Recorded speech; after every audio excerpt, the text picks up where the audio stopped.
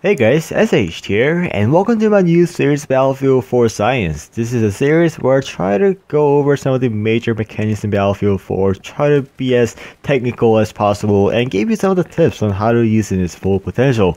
Today's episode, I want to talk about the recoil mechanics in Battlefield 4. Well, a lot of people really seem to estimate that this is underestimated features in Battlefield 4, and today I'm here to tell that it is false. There's a lot of technical stuff that you need to remember in order to control the recoil, control your fire, control the burst. So without further ado, let's get started. But before talking about that, I first want to do a quick myth busting here, especially for the Call of Duty players that just came down to Battlefield 4 Battlefield 3. So this one myth that a lot of people are really really making a lot of mistakes. This myth is that the bullets go to the place where exactly aimed down sights like especially if you ever play call of duty this is uh, one of the very um, good example. In fact i'm to show you an example right now and as you guys can see i'm using the LSAT with the freaking target finder and then the rapid fire attachment and i'm to do some of the wall tests here and as you can see the bullets goes exactly uh, where you're aiming at. Now let's move on to battlefield 4 and now i'm using the m240b uh, which is the one of the um,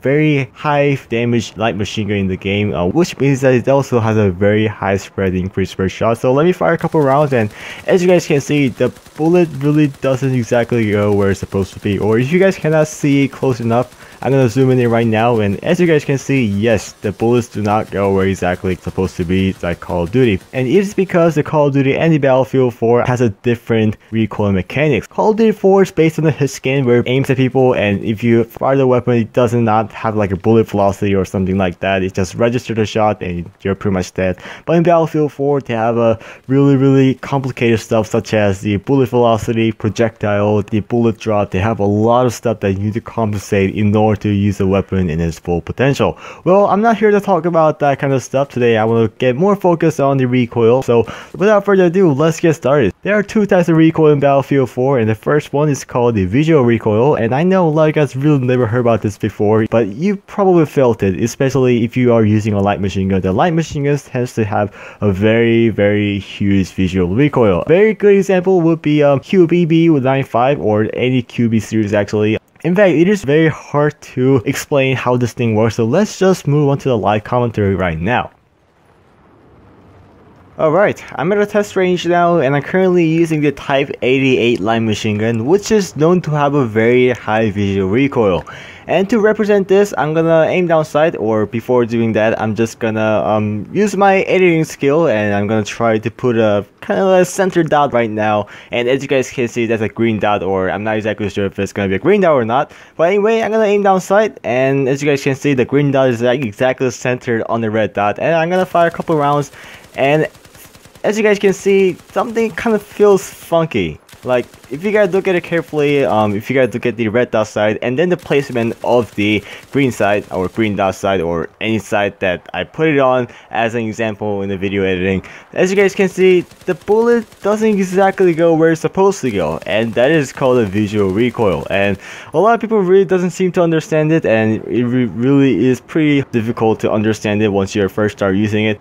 So yeah, so that's the visual recoil and now let's go back to the commentary right now.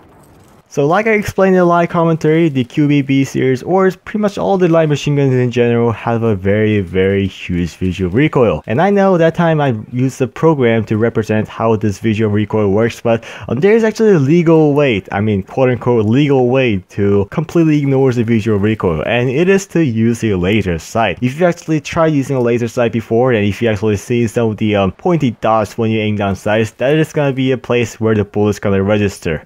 One of the good examples with this clip that I'm showing right here, as you guys can see, the bullets don't exactly go where it's supposed to be, and maybe that's one of the reasons why you don't see a lot of people running around with QBB95 or the Type 88 because it has such a high visual recoil. And if you actually look at some of these stats from Symthic.com, the QBB95 really does not have a high recoil at all. It has a very controllable recoil.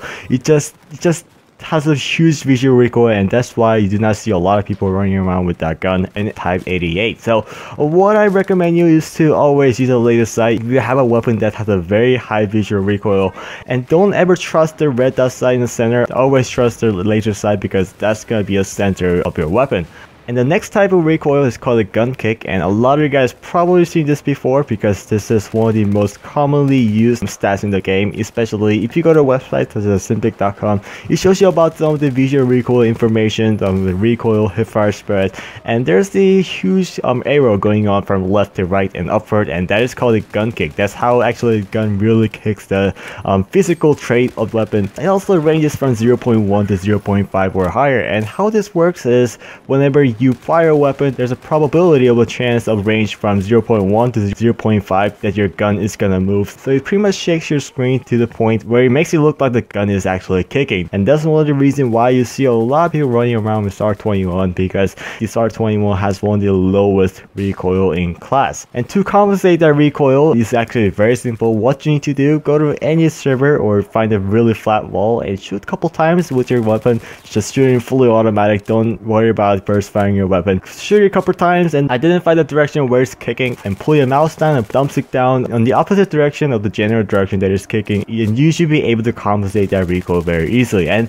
that is going to help you first and second time so you're going to have to get used to it and that's why you need to play around with one type of weapon for quite a long time in order to master it. But once you start mastering it, there shouldn't be any problem at all while managing your recoil. Now there's another factor of the recoil and it's called the first shot multiplier. If you ever went to symthic.com, you probably know about this already. Also, all the guns and pretty much all the good weapons in the Battlefield 4 has a first shot multiplier. So what that does whenever you first trigger a weapon, it actually makes the weapon look like it has a high recoil. For example, if the gun has a 1.6 times multiplier, you have to multiply that by your actual recoil in your gun and that increases the chance to kick a lot higher than the following shots and that's what exactly the first multiplier does. But there's also an exception to it and it's called the burst fire mode. If you use the burst fire mode in Battlefield 4, you don't actually get a first shot multiplier. Instead, there's a third shot multiplier. A great example would be the M16A4 or M4A1. Once you start using that weapon, you are not gonna notice any first shot recoil at all. In fact, I'm gonna show you a clip right now and as you guys can see, you don't have any first shot multiplier at all. But the last clip, or in fact, I'm gonna slow it down right now. As you guys can see, there's only a third shot multiplier instead of first shot multiplier. And I think that's a really, really good step from DICE considering for the fact that purpose of using a burst fire weapon is to be accurate and since they eliminated the first shot recoil and just put it back to third shot recoil, that is gonna make your gun a lot more accurate than your typical assault rifle. So I think that's it guys, I hope you guys enjoyed this video. If you guys enjoyed this video, you know what to do, like, favorite, and subscribe, and I'll talk to you guys later. Peace!